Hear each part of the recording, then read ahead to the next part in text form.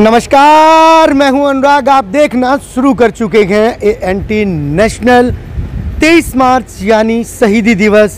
राजगुरु सुखदेव, शहीद भगत सिंह, आज के दिन तीनों का बलिदान दिवस हम एक त्यौहार के रूप में मनाते गए, क्योंकि कुछ ही वक्त पहले 24 को जब फांसी की सज़ा मुकर्र हुई, उस दौर में अचानक से बढ़ते सैलाब को, हिंदुस्तान की वो क्रांति को देखते हुए अंग्रेज़ों में जब वो जलजला देखा तो उनको कुछ समय पहले ही 24 मार्च से 23 मार्च की रात को फांसी पर चढ़ा दिया गया। उसके बाद भी जो अंग्रेज़ों की आग थी, वो नहीं बुझी। जैसे ही उनको सूली पर लटकाया गया, बढ़ते जन सैलाब को देखते हुए उन्होंने आधी रात को ज़िंदा भगत सिंह और राजगुरु सुखदेव के शवों पर तेल डालकर उन्हें जलाने का प्रयास किया। इसी तरह से हम बात करेंगे हाँसी की ये जो लाल सड़क है, यहाँ पे पहली जो आज़ादी की क्रांति अठारह सौ सत्तावन में जब चिंगारी जली तो ये वो लाल सड़क है, जहाँ पे शहीदों को जितने भी स्वतंत्रता सेनानी थे, उनको यहाँ पे ला के गिरडी फेर कर उनको यहाँ लिटा कर गिरडी फेर कर मार दिया गया।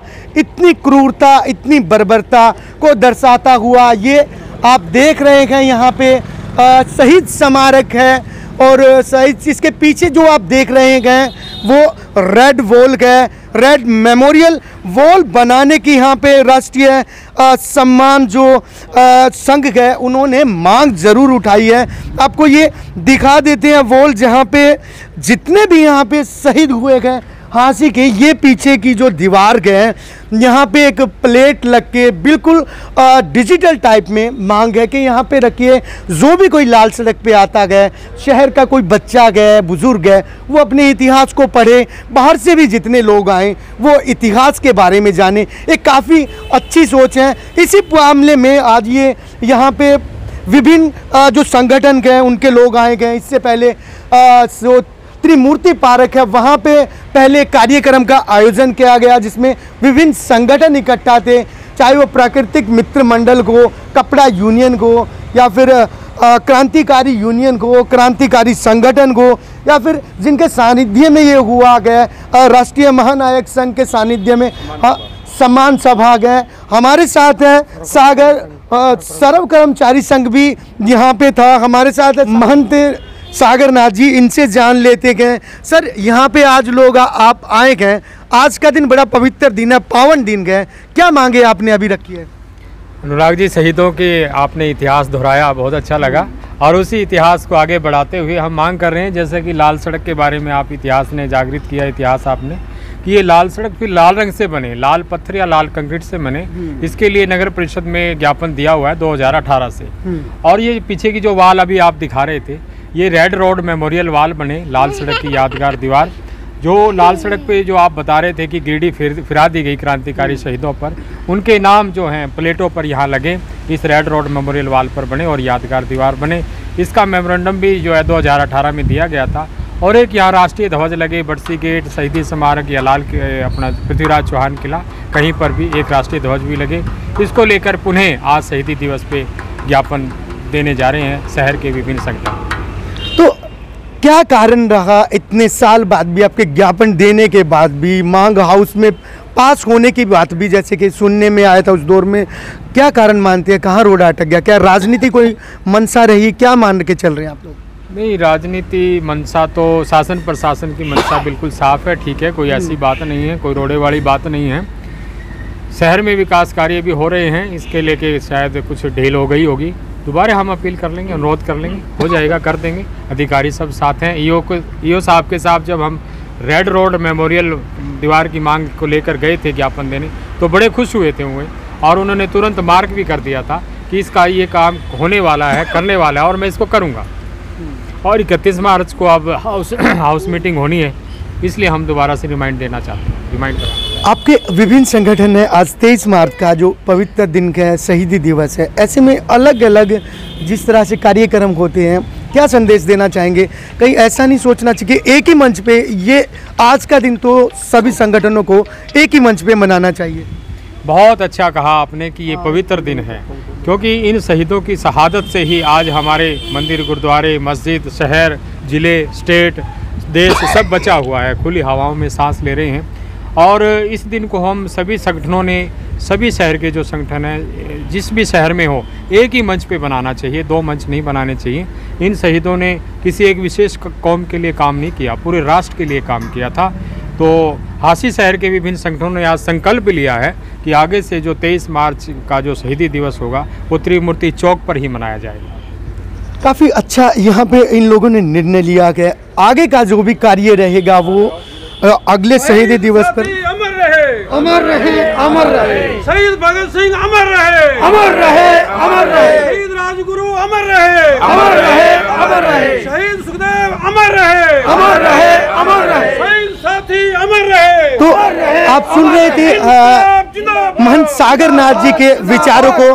क्रांतिकारी जो यूनियन के उनके प्रधान के कृष्ण एलावादी जी इनसे भी जान लेते हैं। सर आप लोग यहाँ पे आए क्या कहना चाहेंगे? हम ये कहना चाहते हैं कि ये हम जब से पैदा हुए तो हमने सुना था कि यहाँ पे हमारे जो शहीदों ने शहीदों पे गेड़ी चलाकर उनको मरवाया गया था। उसके नाम जब से हम हँसी आए थे ये सुन रहे हैं लाल सड़क है। मगर थोड़ा टाइम पहले तो हमने बीच में देखा था थोड़ा सा टुकड़ा बना हुआ भी था पर हमारी मतलब कि पूरे शहरवासियों की एक मांग है कि ये पूरी की पूरी सड़क लाल पत्थर से बने। कोई भी हमारा बाहर से रिश्तेदार मेहमान या कोई भी और आए तो पूछे कि भाई ये इस सड़क का रंग लाल क्यों है? तो हमें उस शहीदों की याद आती रहे जिन्होंने हमें अपनी कुर्बानियाँ दे के अपनी जान दे के हमारे लिए आज़ादी दे गए। हमें उनको कभी नहीं भूलना चाहिए। और बाकी जो मैन जी ने एक बात त्रिकोणा त्रिमूर्ति पार्क में भी पहले कह दी थी कि जो तेईस मरकज का दिन ही नहीं मैं तो ये कहूँगा, जितने भी शहीदों, शहीदी दिवस मनाए जाते हैं, सारे सारे संगठन इकट्ठे होकर एक ही जगह पे मनाएँ, इसके लिए हम उनकी बात पे सहमत हैं। और सभी भी, जितनी भी शहर में संस्थाएँ हैं, सब हम ये नहीं कहते कि एक ही, कहीं मनाओ मतलब जहाँ भी मनाओ, एक ही जगह मनाओ, ये हमारी सबसे निवेदन है। धन्यवाद। काफ़ी अच्छी सोच है, एक ही मंच पे आप मनाइए, देखने को आ रहा है आज के दौर में शहीदों में भी आजकल कौम की बातें आने लगी है, लोग हैं ये मेरी कौम का ये मेरी कौम का। जब तक हम यहाँ पे ज़रूर ये ज़रूर कहना चाहेंगे लोगों को शहीद ना तेरा गए ना मेरा गए वो देश के गए क्योंकि देश के लिए उन्होंने अपने बलिदान दिए आपके कौम के लिए उन्होंने बलिदान नहीं दिया पूरे समाज के लिए पूरे देश के लिए अपने प्राण नुछावर किए गए। उन्होंने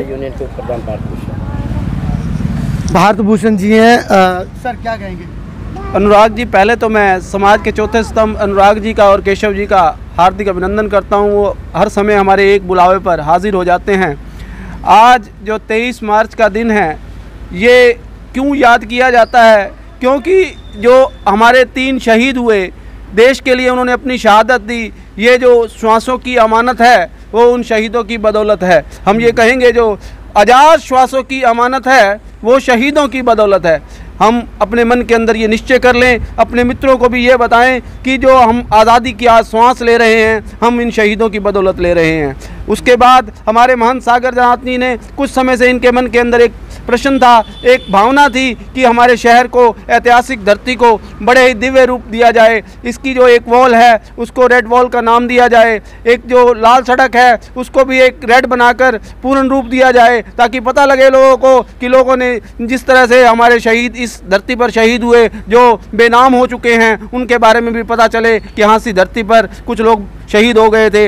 एक तिरंगे का मान और बढ़ना चाहिए और पता लगना चाहिए दूर से कि हाँसी नगरी पहुँच गए हैं हम, हाँसी में पहुँच गए हैं। इतनी लहराए हाँसी के तिरंगे को, इतना मान सम्मान मिल जाए कि लोगों को पता चले कि हाँसी में तिरंगा लहरा रहा है और जहाँ भी जाएँ, पता चले कि हाँसी में एक तिरंगा लहराया जा रहा है। हाँसी के लोग इतने दिव्य हैं, इतने शहीदों का मान सम्मान करने वाले हैं। धन्यवाद। जय भारत, जय हिंद। एक बार आपको दिखा देते हैं, फिर से ये शहीद स्मारक है, जो शहीद यहाँ पे हुए गए क्रांति, जब अठारह सौ सतावन की पहली क्रांति जब शुरू हुई, उससे पहले भी यहाँ पे जब लोग थे, उनके मन में जब इच्छा जगी अपने देश के लिए कुछ करने की, अंग्रेज़ों की बर्बरता से लड़ने की तो पास का ही गाँव गए रोहनाथ, जहाँ पहले शहीद हुए, इसके साथ यहाँ पे यति पूर्णानंद जी हैं शहीद इसके साथ ही लाला हुकम चंद जैन जी हैं तो